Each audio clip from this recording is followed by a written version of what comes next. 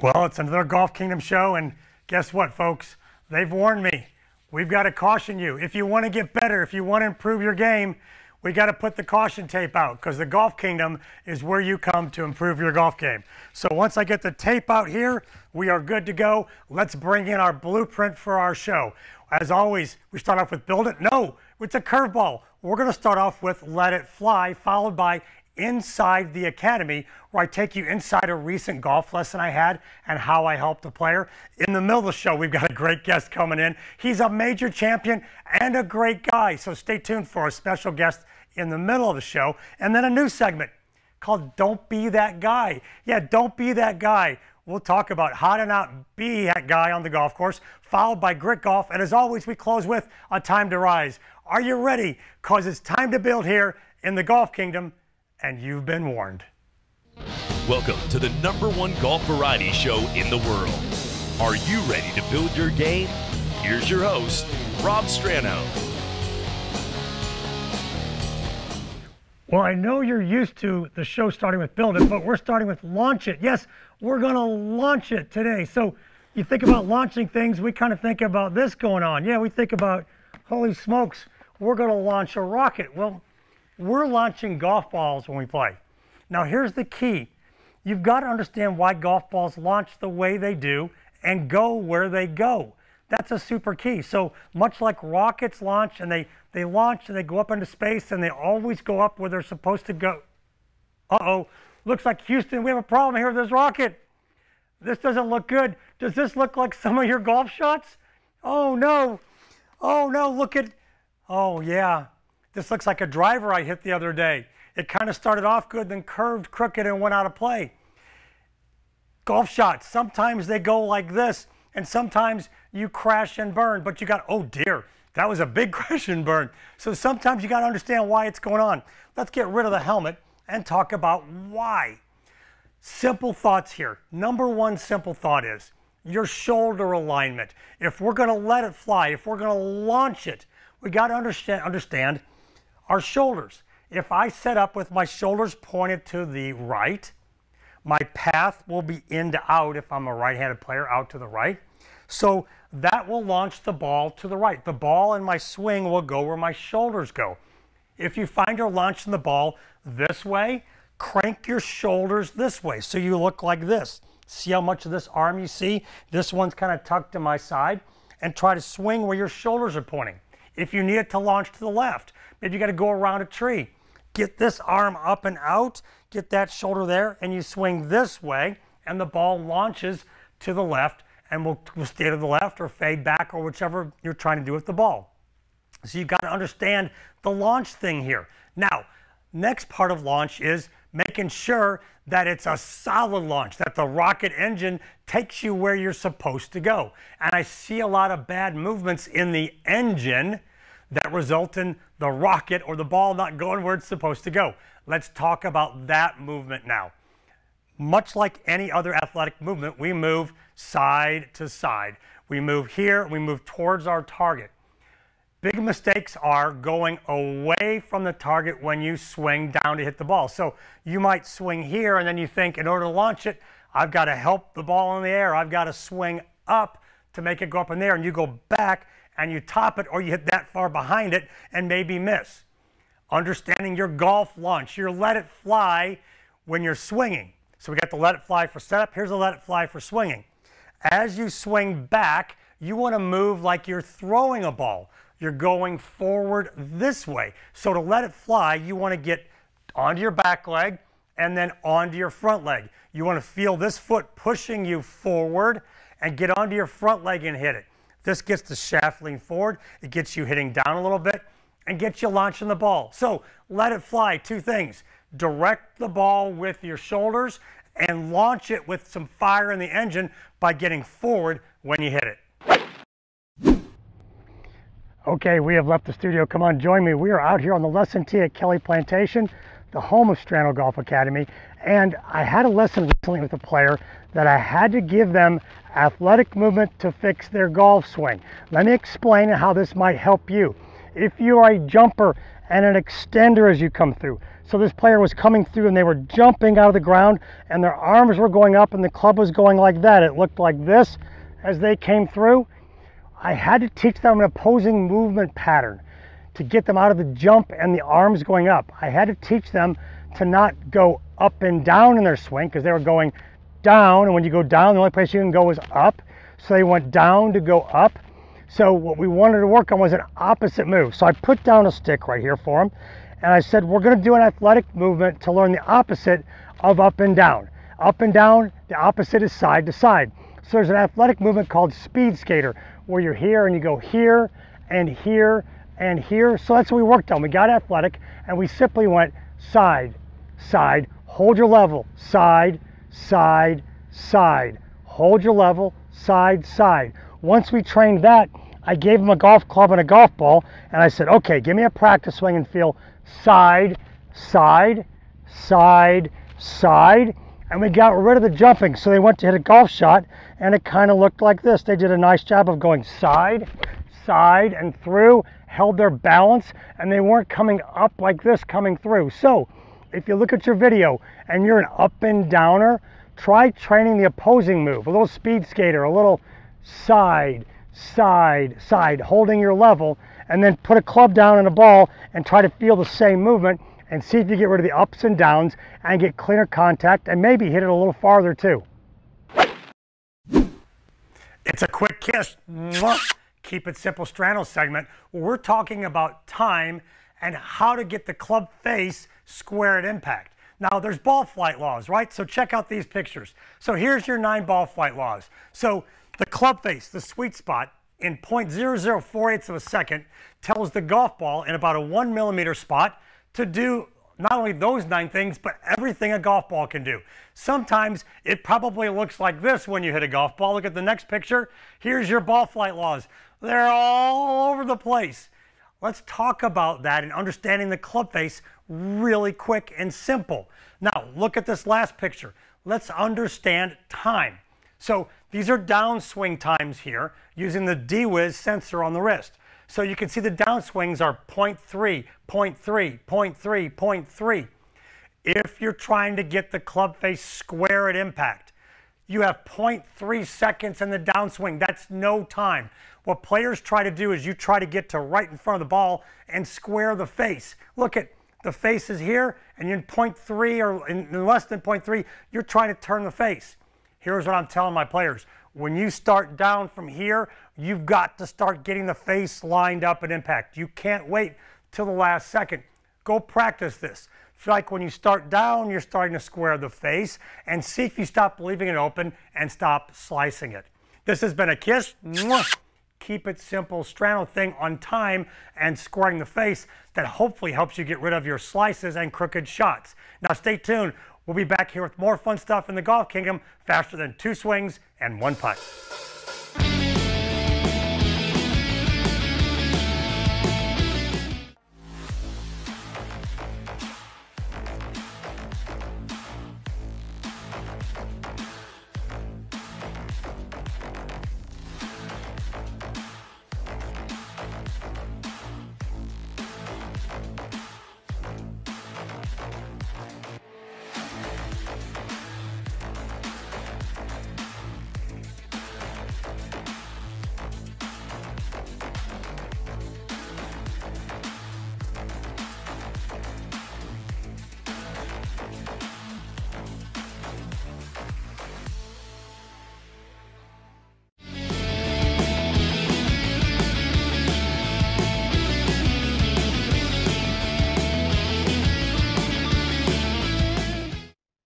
Well, I've got a super treat for you here in the Golf Kingdom. We've got a major champion. Yes, Mark Calcavecchia, a legend from the PGA Tour, is joining us in the Golf Kingdom. Mark, great to have you.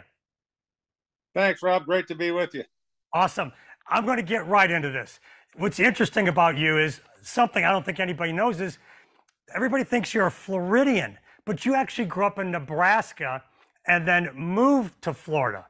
Talk to us about how that little transition helped your game because you went on to win the Florida State High School Championship and you right. were in Nebraska. Right. Yep. I grew up in a small town in northeast Nebraska, Laurel. uh, population 920 at the time. I think it's still about that uh, that amount. And uh, anyway, we had a little nine hole course that my dad and his buddies bought a 43 acre cornfield right outside of town. And literally it's just a field with uh, little round greens and, and tees on it. And uh, that's where I learned how to hit the ball. Uh, we ended up moving to uh, North Palm Beach, Florida in 1973 when I just turned 13. And I had literally had no idea how to hit out of a bunker or, uh, you know, hit around trees or anything. So I had to learn all that stuff really fast. But it was uh, obviously great for my golf game. And uh, uh, in about a year or so, we lived, we the house Dad bought uh, when we moved down there was right across the street from the Highway One from the 14th Green at North Palm Beach Country Club. So every night in the summer after dinner, barefoot, I'd take my shag bag and my sand wedge over there and uh, and hit bunker shots and chips on the 14th green. So it was uh, that's that's kind of where I learned it all and that's kind of typical to all of us that played professional golf is that we just found ways to get out there and practice and, and work on it. And, and you got so good that you ended up going to the University of Florida. Now, I got a University of Florida champ uh, question for you. If you want to do the chomp behind me, go do the chomp, whatever you want to do. But it, it, at my school, we did weird things on campus, like we'd hit one irons out the window of the dorm. Was there yeah. anything weird you guys on the golf team did there at University of Florida that you recall? Uh, in in the our freshman year, we had to live in uh, in the dorm, and it was called Yon Hall, and it was in the east half of the stadium. Uh, and our windows weren't very big, so we didn't rifle uh, uh one irons out the windows. But uh, uh, they were having a swim meet. the the University of Florida pool was right below our room, and my roommate stuck a speaker. He had these big giant speakers out the window, and blared Van Halen "Running with the Devil." And everybody at the pool turned around and looked up at the stadium like, "What the hell is that?" Uh, so that was pretty funny. But uh, uh, no, my my Trump uh, partner in crime, uh, Ken Green, uh, through uh, through the '80s, uh, we uh, we laced several balls uh, uh, out out of patios uh, for sure, and uh, down down streets and uh, at signs, uh, you know, night. So yeah, that that definitely happened let's, let's get on to, to some, some interesting golf stuff. So one of the best shots you've ever hit was the flop shot you hold in winning the Open Championship. Let me ask you a question. What was another shot you hit in your career where you looked at your caddy or he looked at you and you went, holy smokes, can you believe I just hit that shot? What was something amazing that maybe no one knows about because everybody knows that one? Yeah, there's there's been a few uh, a few bunker shots where you know I didn't think I could get it within 20 feet and ended up holding it. Uh, you know, the, the, the one at the Open, obviously that I flew in was was great and timely and very lucky. Uh, but then also I happened to hit two of the best shots of my career on 18 uh, in regulation and in the playoffs. So uh, uh everybody knows about those two. But uh, I, have pulled off a lot of lot of wacky shots from trees and uh, curving the ball and, and and super floppers. I think in '92 when I won the Phoenix Open, I was 50 yards left of the green on the downslope where all the people were, and I I hold that to win by like seven or something. So there's there's been some uh, pretty amazing shots from around the greens that I pulled off. Yeah, that and, and that that Phoenix stretch, I wrote it down here. In, in Phoenix, you have to tell us what was it about Phoenix? Because in '89 you shot 21 under and won by seven. In '92 you shot 20 under and won by five, and that wasn't enough you decided in 01 to shoot 28 under and win by eight. What was it about Phoenix? Yeah, it was just a good place for me. I enjoyed playing at home, and uh, really, uh, the, the Thunderbirds used to give me 200 tickets, and I'd get rid of every one of them. I'd, I'd hear that, you know, I only heard from once a year, but that was fine. And uh, they'd come out and cheer me on. So I, I really like showing off from my uh, from my friends there. Uh, you know, the golf course suited me. Obviously, uh, I liked every hole. Uh, I could hit my fade off the tee, and uh, you know it was pretty severe around the greens. So uh, being an aggressive player, you know I could go with the pins and uh, not be afraid of short siding myself and, and not getting it up and down. Let, let's talk about another interesting scoring stretch where you simply went four, three, three, three. Now it doesn't sound like much, but if I'm if I'm correct, you that the British Open, the Open Championship you won, that was the first of the aggregate playoffs where you went four three three and beat, right. beat Wayne Grady by three, and Norman made an X and was done. talk to us about the mental difference because you were the first one to ever had to figure out how to do that, and you just aced it with flying colors. What were you thinking going into the aggregate playoff for the first time ever? Uh, you know, when we got done, and uh, uh, you know, I had to birdie 18 in regulation to tie Greg Norman, and then Wayne Grady still had five holes left and a two-shot lead. Uh, and then he bogeyed the two par threes, 14 and 17, and then didn't birdie 18. And I thought, okay, we're in a playoff. So I said to the R&A guy, I assume we're going back to 18. He says, no, we're going to one, which is on the golf course. It's a driver and a 60 yard L wedge. And uh, I said, well, that's a weird hole for a sudden death playoff. He says, no, we're playing 1, 2, 17, 18. I had absolutely no idea. It was a four hole playoff. Even walking over to the first tee, he told me. And uh, just standing kind of that, I said, oh, good. It relaxed me because, you know, sudden death, anything can happen. You know, mm-hmm. I mean, guy can make a long putt on you and you're in there close and miss, and all of a sudden it's over. But four holes, you got a chance to to to catch up, or or anything could happen, and uh, it just relaxed me, and I, I really really felt good in the playoff and uh, and played well. And, and you said a key phrase there. It relaxed you, and I tell my players, I, I used to love playoffs, if it was for a Monday qualifier or anything, because what the thing I did was I looked at every other guy in the playoff and I went, they're more nervous than I am, and that totally relaxed me. And I love right. the thought of that four holes. You just went, okay, four holes, no big deal. I got this. And you and you did. You absolutely nailed it, nailed it, and raised the claret jug. And what's it when you look at the claret jug and the names on it? What's one name that you always kind of seem to fixate on when you look at it? Well, obviously Jack Nicklaus, uh, Arnold Palmer, Tiger Woods, uh, those guys, and and going back to the to the day, uh, you know, even Peter Thomson who won it five times, Tom Watson, mm-hmm, amazing. Hogan. I mean, it's just there's so many incredible names. Seve, there's so many incredible names on it. It's uh, it's just really the cool look, uh, uh, cool to look and see uh, see who won and what year it was in. And uh, uh, I, I, I still have the re- replica uh, right, right at home in Jupiter, just to the right of my TV, and I look at it every day. I sit on my butt and watch TV. So uh, it's actually I get a good reminder of it pretty much every single day. So that's uh, that's nice. And and you gave the engraver a, a big challenge with having to put in Calcavecchia. So that's that's something everybody else looks at. So one last, last quick question. You're, you're sitting in what my son calls a homie home. Uh, he, he came up with that name when he was a little kid. So you're sitting in your motorhome. You travel in that. Great way to travel. What's your favorite feature of your motorhome? Oh, it's uh, it, it's it's the word describes it. It's it's it's home on wheels. It, it's your your home. Uh, uh, you know, on the road. Uh, everything you have is in it. Uh, your clothes, your bed, your pillow, your my breathing machine. You know, everything. Uh, uh, you got breathing you know, machine. Uh, I've been sleeping with that for 21 years, my uh, CPAP machine. But you know, it's just stuff you don't have to carry around to to airports. Uh, uh, and I and I love driving the thing. You got the first thing you got to do is love driving it. Uh, now a lot of guys, of course, the the super duper rich guys, buy them, you know, fly in privately, have the driver drive the motorhome in, and then they just, you know, stay in it for a week. And same sort of thing. Then the driver comes in, fl- drives it to the next stop, and uh, that's that's the way the uh, the the young, rich, and famous uh, travel now. But I I think part of the whole fun of the deal is driving the thing uh, and just being out on the road and planning your gas stops and planning where you're going to stop and and uh, planning rest areas and having lunch and walking the dogs and it's just uh, it's just a lot of fun for us and uh, we, we've we've been doing it now for 14 years uh, so we love it. Awesome. There, there's your favorite feature driving your home around the country to play golf. Mark calcavecchia a major champion has joined us here in the golf kingdom. I hope you out there have enjoyed him as much as i have having him as a guest. Mark thanks a bunch for being here with us in the golf kingdom. My pleasure. Anytime Thanks again. And stay tuned. We'll have more Golf Kingdom coming up faster than two swings and one putt.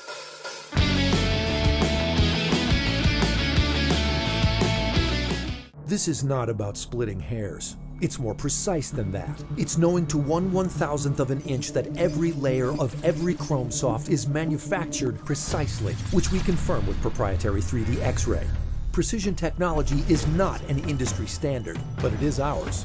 You can hope your ball performs consistently, or you can know it will with precision technology. Chrome Soft. Better for the best. Better for everyone.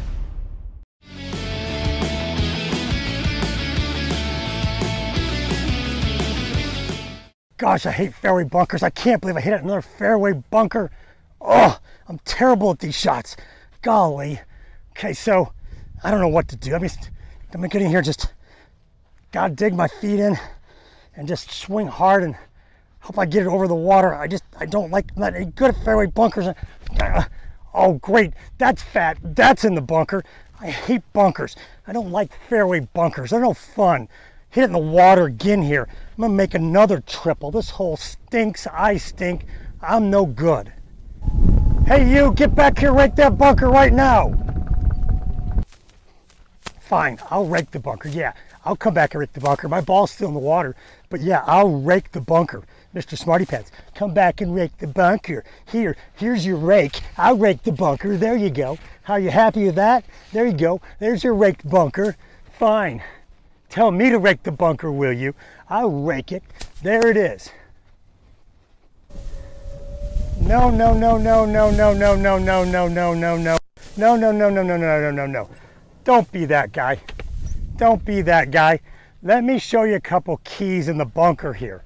Number one key when you watch that whole thing is, I want you when you walk in the bunker to walk gingerly. If you saw that guy, he was pounding around in the sand when he walked in. You should walk softly in the bunker. If you want to make your rake job easier, you walk softly in the bunker. You don't make deep footprints. It makes it easier to rake. No, one of the worst things in golf is to hit in a bunker where number one, they haven't raked it, and number two, the guy was chomping around in the bunker and making deep footprints. Walk lightly. Number two, when you rake, now I grew up with a, a Masters champion, and he was a hawk when it came to raking a bunker. Man, if you raked one wrong, I heard about it from Mr. Goalby. When you rake a bunker, get the rake at an angle like this and lightly, you lightly move the sand back and forth slowly. You want it to look like if you hit it in here and it was your ball, you have a nice clean lie. So I got the rake at an angle. I'm not pushing it deep into the sand and I'm lightly going back and forth and I'm backing myself out of the bunker as I do it. So the keys are number one, walk lightly. Number two, rake lightly. And when you're done, you want to look at it and go, did I miss a spot? Oops, I missed a deep clod spot there. I'll fix that one. And this is kind of a little deep rake mark. I'm going to fix that one. I may not have done that, but someone else may have. Do this, and you know what? If you leave the bunker better than you found it, maybe you'll get good golf karma next time you hit it in a fairway trap. Are you ready to get grit fit? Yes, we're going to work on your balance today. And from what I've heard from Courtney Weber of Grit Golf, it's going to involve screams. So, like the famous Wilhelm scream? Ah, yeah, we're going to talk about how does screams help your game. So, yeah, what? It's screams. It's screens. screams. Oh, that makes more sense. It's screens, not screams. So, Courtney, how do screens or screening my body help me with my balance? Absolutely. One of the most common mistakes that we see in the screening process is balance. If you don't have good balance in your golf game, it'll lead to very inconsistent shots on the golf course. Of course, And yes. We, and we don't want that. So, what I'm going to have you do today is I'm going to have you stand on your right leg. Okay. Lift that left leg up. You're going to go ahead, once you have that balance, I want you to go ahead and simply close your eyes Close, close my eyes and do what? And balance there. And balance? Oh, this is going to get interesting. Here we go. Wait, the room's spinning. Have I been drinking? No. Oh my gosh, the room started to move. One that wasn't me, was it? Yes, it was. One of the things that we're looking for in that balance, if you go ahead and lift that leg up again, Same is- one? Yes, why not? We're looking for good ankle mobility there as well. So if you want to improve on the consistency of your golf shots and have nice balanced swing, you can go ahead and simply practice this move at home. You can start with your eyes open and as you get better, like Rob here, you can go ahead and close your eyes to get better at golf. My name is Courtney Weber with Grit Golf. You can reach me at Strano Golf Academy. Are you ready? Because we're going to get grit, Grit Fit. Here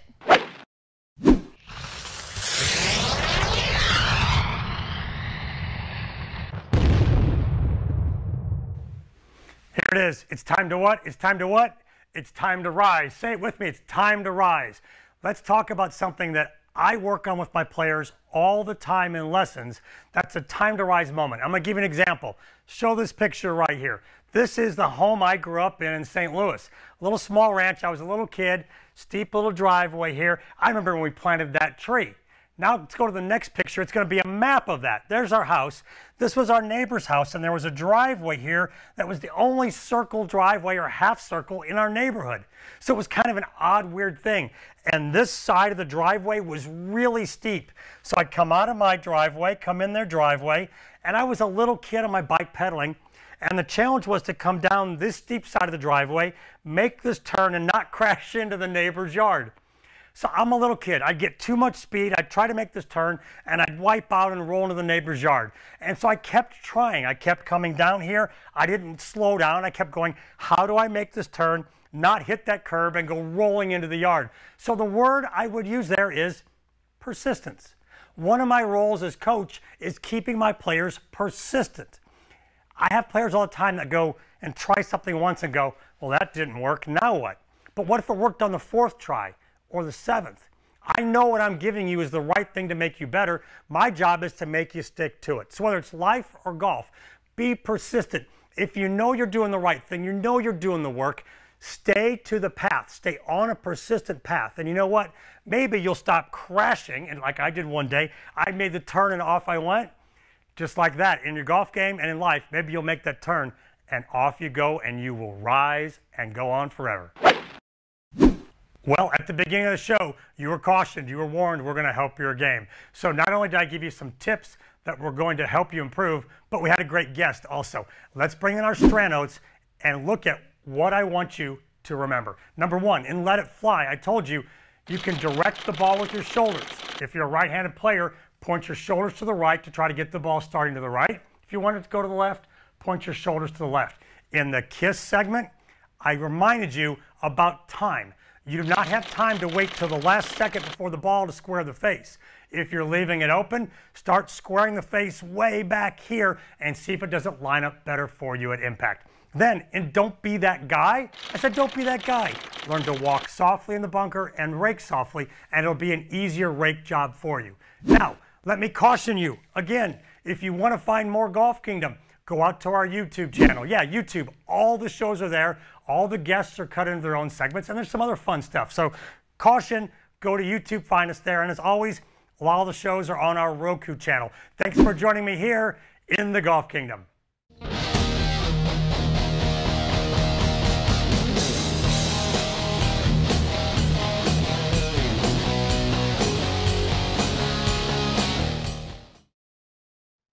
Well, hopefully you hung around to the end. It's our bonus segment with major champion Mark Calcavecchia, where we do the Fast Five. Are you ready, Calc? Ready. Here we go. Who's got the best homie home, the best motorhome on tour? uh, of course I do. There we go. I like that. Who's got the second best then? Uh, probably John Daly. Daly's got a got a good whooping one. He's got a good one too. Uh, he's got a lot of uh, custom features in it, so it's uh, it's fun to go over and hang out with him every once in a while. I, I would imagine it's a good party spot. Next question. What's a team that you secretly root for that no one knows about? A team? Yeah. Uh, the Ohio State Buckeyes. I, okay. I think uh, a lot of people, uh, we've got the Buckeye license plate on the truck, and everybody looks at me and goes, I thought you were a Gator. I said, I am, but my wife's a Buckeye. And uh, they're a little better than the Gators now anyway. So uh, I'm a I'm a secret closet Buckeye fan. There we go. It's, it's kind of like Ricky and Lucy. You got some splaining to do there, Calc, while you got the Ohio State license plate. Um, exactly. So you're you're you're in your your motorhome there, or you're at home in Jupiter, and it's late at night. You look over and Brenda's snoring away, and you need a little snack. So you're going down. What's your sneaky snack you're going for? What's I'll your get I'll get up and I'll grab a piece of uh, salami, some cheese, and some pickles, and just kind of pull it into a ball and fire it down, and then chase that down with a A and W root beer. That's my middle of night snack. Are you serious? Salami, yeah. cheese, pickle, and root beer. That's that is a memorable late night sneaky snack. That's it. That's that's incredible. Um, so, question: If you wanted to laugh for 18 holes, who's going to be in your foursome? The hardest I've ever laughed when I played golf is with two different guys that I can think of. I can probably come up with a third, but uh, Jim Thorpe, uh, who's now since retired, who played on the tour for quite a few years uh-huh. in the tour. He had me laughing so hard I had tears in my eyes I could hardly swing. Uh, the other guy uh, is Neal Lancaster. Yes. a little bit of a hillbilly here from North Carolina, and uh, he played this week and uh, at the SAS Championship, and he again he had everybody laughing. Uh, same thing. You play with him, you can't stop laughing, and uh, I'm not sure who the who the other one would be, but uh, th- those two will they'll bring you to your knees. That's that's those, those are a couple good characters. Okay, last question in the Fast Five. If you could sing, maybe you can. I don't know that, but I don't think so. If you could sing, what band would you want to be the lead singer for? Well, Rush is my favorite band, uh, and uh, they've retired since they've lost their uh, their drummer Neil Peart, and he had to retire. Mm-hmm. Uh, yeah, I don't think I could handle uh, the Rush singing parts, but uh, uh, I wouldn't mind being a singer for, uh, let's say, a band like uh, Sticks. Styx, there you go. Turn up loud enough, I can harmonize with them pretty good, and they've got so many great songs. And every time you hear a Styx song, you don't realize it, but you almost know every word. yes. I don't know if anybody noticed that, but yeah, it's it's it's weird. Uh, very popular band, and uh, I love singing along to them. So so you you're thinking you're going to take take Geddy Lee's place with Rush and over there with Styx and hit those high notes. I like it. Mark Calc yeah. can hit the high soft shots, but he's thinking he can hit the high notes too. Calc, thanks for joining us here for the Fast Five in the Golf Kingdom. You got it.